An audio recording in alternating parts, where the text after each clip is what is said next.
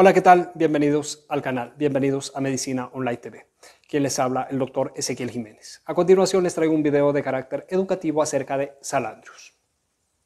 Además, me gustaría saber de qué parte del mundo te reportas, escribiéndolo en la parte baja de los comentarios. Salandrius tiene una composición de bicarbonato de sodio de 2.18 miligramos, sulfato de magnesio de 0.88 miligramos, sacarosa sódica de 2.5 miligramos en cuanto a las principales indicaciones de Salandrius tenemos.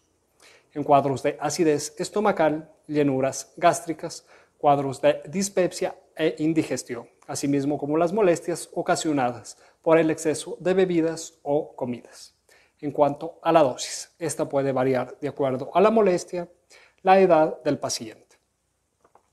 En adultos y mayores de 12 años se recomienda disolver un sobre en 100 ml o medio vaso de agua y será administrado por vía oral.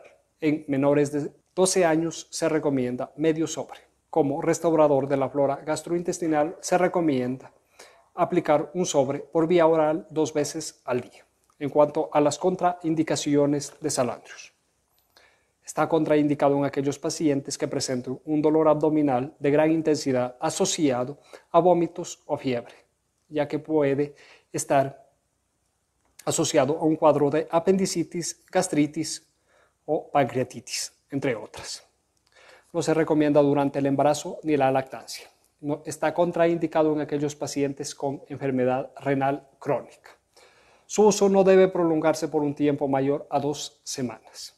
No se debe administrar en menores de 6 años. En cuanto a las principales reacciones adversas, se han reportado casos de intolerancia gastrointestinal si el video te resultó útil, ayúdame dándole un like, manito arriba, compartiendo para así llegar a más personas que les pueda resultar útil la presente información. Éxitos, bendiciones. Nos vemos hasta el próximo video. Gracias.